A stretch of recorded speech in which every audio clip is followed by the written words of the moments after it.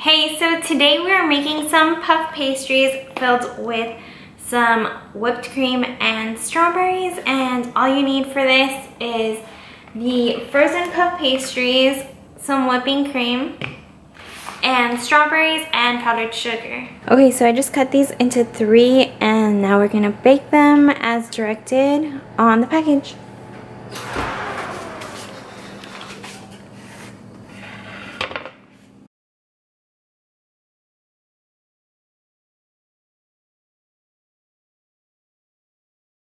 Okay, so just wash your strawberries, remove the stems, and now we're just gonna cut them. Okay, then we're just gonna put in some powdered sugar in there.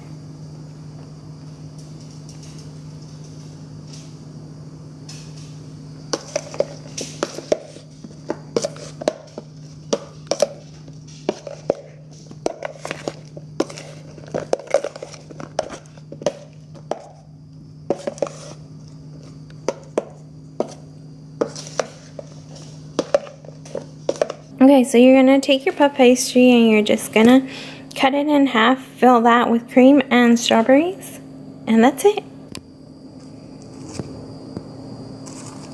Okay, so we're going to take the whipping cream and just whip it until it becomes cream. Then I just added some condensed milk just to sweeten it because it comes unsweetened.